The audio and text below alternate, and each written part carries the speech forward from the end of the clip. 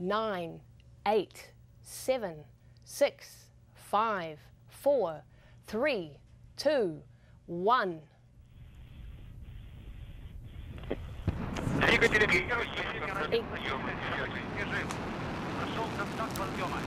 Ignition start. We have liftoff of an ILS Proton rocket from the Baikonur Cosmodrome in Kazakhstan with the SatMex 8 satellite on board.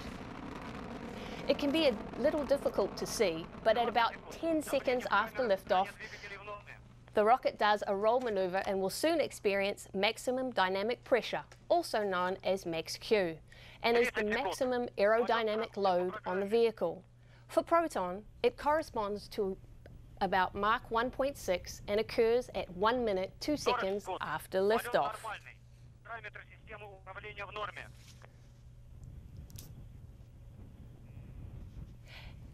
Everything seems to be proceeding nominally as the vehicle heads across the Cosmodrome vertically in a northern easterly direction with a flight launch azimuth of approximately 6.13 degrees.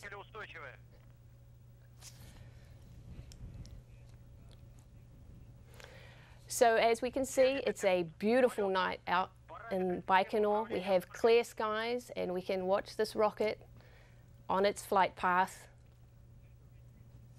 you know, as the ILS Proton travels easterly downrange, our viewers are going to notice some time lags in our reporting of key mission milestones. Now, the reason behind this delay is that as ILS Proton follows its pre-programmed flight path, it will pass out of range of the Baikonur receiving stations. Now, at this point, signals are received by stations downrange and transmitted back to Baikonur, so this does cause brief delays in our reporting.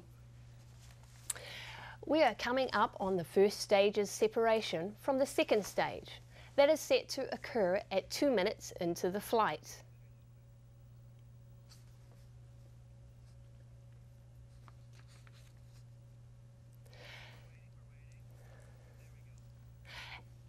Zach, have we got confirmation?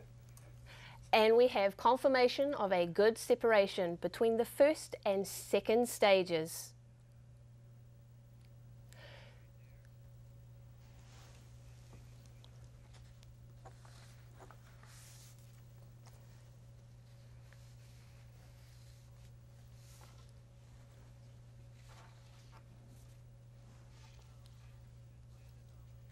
Okay, we're all proceeding as nominal and as planned.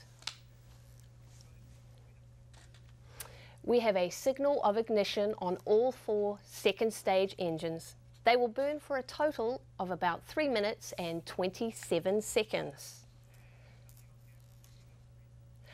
The next key mission milestone will be stage 2 3 separation at L plus 5 minutes and 27 seconds. 20 seconds after that, the payload fairing pyros will fire, separating the two halves and they will be jettisoned from the vehicle.